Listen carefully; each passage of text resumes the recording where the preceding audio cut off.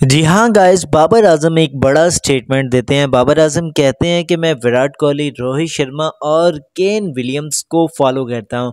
यानी कि आपका भी कोई ना कोई फेवरेट प्लेयर होता है जिसको आप फॉलो करते हैं लाइक करते हैं, पसंद करते हैं। वो कहते हैं, बाबर आज़म कहते हैं कि मैं इनको जो रीड करते हैं गेम प्लेन को, उसको मैं करने की कोशिश करता हूँ क्योंकि ये बैटर प्लेयर है, मेरे फेवरेट बैटर प्लेयर है, इनको मैं फॉलो करता हूँ और अपने मैचेस में जो है ना, इस चीज़ को ट्रिक लगाने की कोशिश करता हूँ।